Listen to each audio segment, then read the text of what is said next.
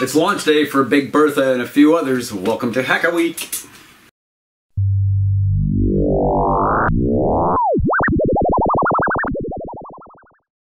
Yep, today is launch day, which means balance out the rocket day. And we're going to talk about that center of pressure, center of gravity, things like that, and what they all mean to each other for a stable flight.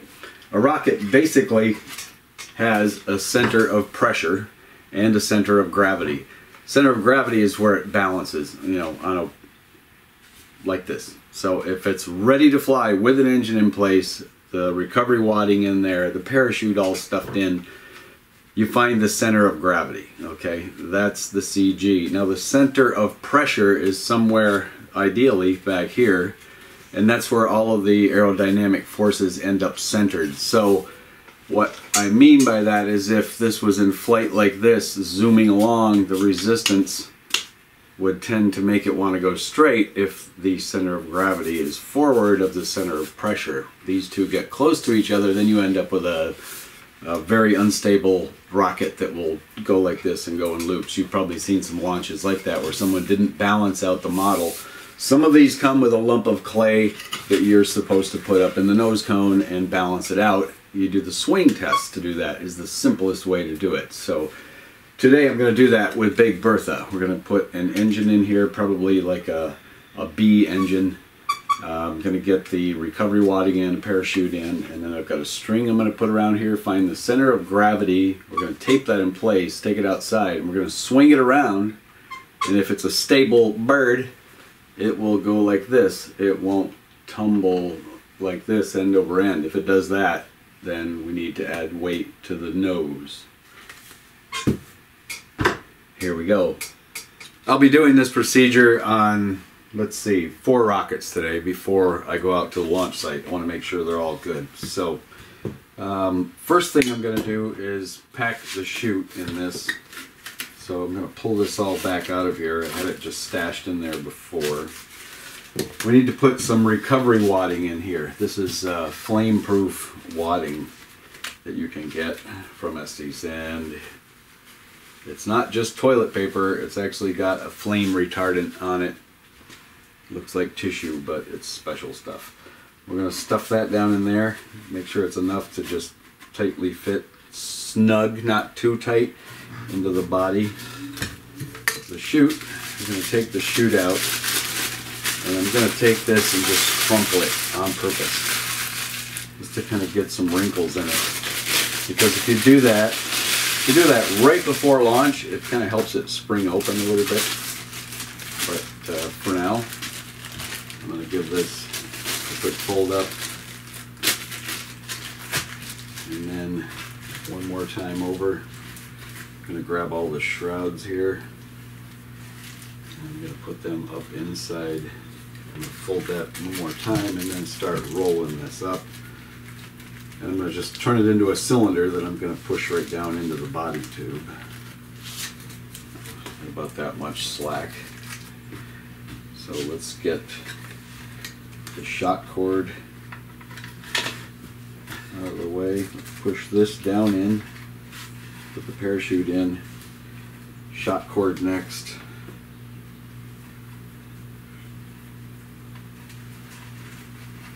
Bundle that up, put it all in there as one little wad. That's the simplest way to do it, it seems. Get the nose cone in. We're ready to find the balance point. Okay, now we need to put a engine in, a B64. This is now launch ready, other than an igniter and an ignition source. Alright, I've got a loop with a slip knot on my piece of string. Let's just start somewhere around here.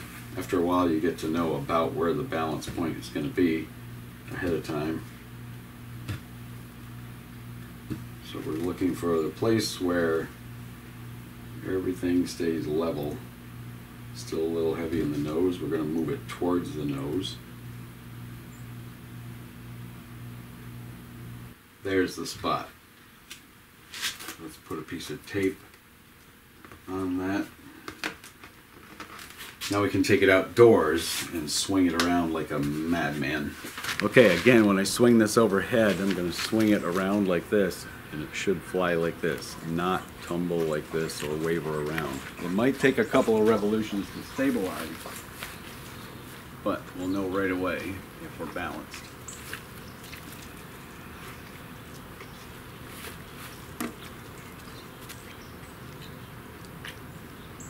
Nose first, just like it should. So that's good balanced. That's a well balanced rocket. This should fly straight and true. Well, I say that's testament to Big Bertha's inherently stable design. It's just a good solid rocket design. They always fly well. I've never had one go wonky on me. So that one's ready to go. Now I have a few more that I want to balance out, but I want to do the X15 and share that one with you because this thing is, is really bizarre where the CG ended up and such. This one is going to fly on an A34T. I'm going to put this in so that I get a proper balance. And I'm just going to double check the payload section. I think I already have a parachute and wadding in there. Yes, there is wadding in there. There's a chute. I'll repack that before flight, but for now, it all goes back in, and we can find the CG on this now with an engine installed. First thing I'm going to do is balance it on an edge on a ruler and get an idea where the CG is that way. I seem to recall I balanced this but I'm going to check it again anyway. Yeah, it's right about there. It's roughly where the CG is. And it's right about at the center of effort of the lift on the wings, which is interesting. So that's where the CG is. Flying inverted, but there it is balanced. Let's go swing it. Let me get it started in the right direction. I'm going to go this way, maybe. maybe this way. This way is easier. It's, it's stable. It's not tumbling. Amazing. This might just fly okay. First one up is the Supernova. This is going to be my sounding rocket for the day to get an idea of what it's like up there. There's just a tiniest little bit of breeze coming out of the southwest, just barely. Um, once in a while I feel it clouds overhead are fairly still. So let's go. This is the launch of the supernova. In five, four, three, two, one. Nice straight flight. We shoot deployment. Nice flight. Everything uh, went well. All recovered well. Let's move on to the next one. Big Bertha's on the pad ready to go. You get uh, the launch pad view on this one. Flying with a B-64. Armed and ready in five, four, three, two, one. Lovely. Nice and straight, nice apogee. We got a chute coming down close by fully recovered and I get bonus points for catching both the rocket and the recovery wadding. Then it barely deployed at that and it blew the nose cone apart. Experimental. Protostar is on the pad. We're ready to go. We have a D12-5 in there and I'm gonna try to track this one as I launch it. That's always tricky. All right.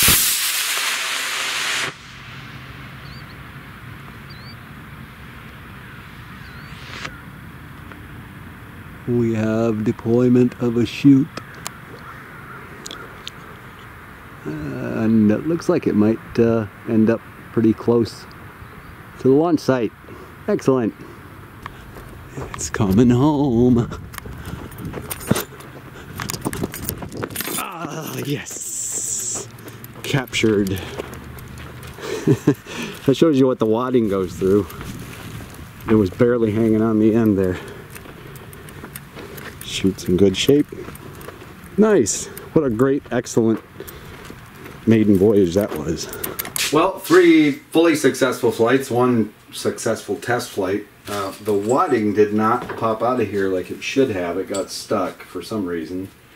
And flames came past it anyway, and they did melt my poor little orange parachute.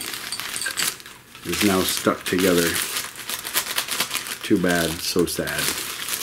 We'll put another parachute on this, and we might try adding more nose cone weight and see if maybe we can get this thing to um, straighten up and fly right, as it were. So I'm just going to take this parachute off. So back out here at the uh, launch site again. Um, before when I launched the X-15, it tumbled. It went up, it tumbled, it came down, hit the ground, and then the chute deployed. But because it was on the ground and the nose cone was blocked, it didn't pop out properly. It fried the chute. I made a new parachute out of ripstop nylon. I've got it on the pad now. I added quite a bit of weight to the nose, moved the CG forward, and we'll see what happens. There's not too much fin area on this thing. It was not meant to be a rocket. It's actually a supersonic experimental aircraft. But uh, let's give it a launch and see what happens this time. I'm gonna try tracking this. It's a little tricky because basically I'm holding the camera to my face and moving my head up along with the camera. And here we go. In three, two, one. Not good. not good. And uh, yeah, it's just not gonna happen, I don't think. Well, let's go check it out. Well, the chute came out. Fortunately, unfortunately, it wasn't up in the sky. Survived the crash pretty well. Um, well, you know, I don't know if I'm ever going to get this to fly. Apogee has tried making one of these models, and they do have one available, but it's got a whole lot of extra fin area on the back, on the tail, to make it fly right. But if nothing else, this is a really cool 3D printed model of one of my favorite experimental airplanes ever. Well, that was fun. I'm glad you could come along. I hope you enjoyed the video. It was a pretty nice follow-up to see the Big Bertha fly very nicely, nice and straight. Next up, next video is going to be the SR 2061 Sasha, a Russian rocket. So be sure to watch out for that one. Thanks for watching. Don't forget to like, share, and subscribe, and click that Estes link down there below and buy yourself a rocket and build it and launch it because it's fun. It's a lot of fun. You learn about physics too. Opposite and equal reactions and all that stuff. Newton's Newton. Newton's laws. Newton, the guy with the apple and all that. Not Apple computer, not that Newton. Anyway, I digress. Thanks for watching. Don't forget to like, share, and subscribe. And click that Estes link and go buy yourself a rocket. It's fun. Until next time.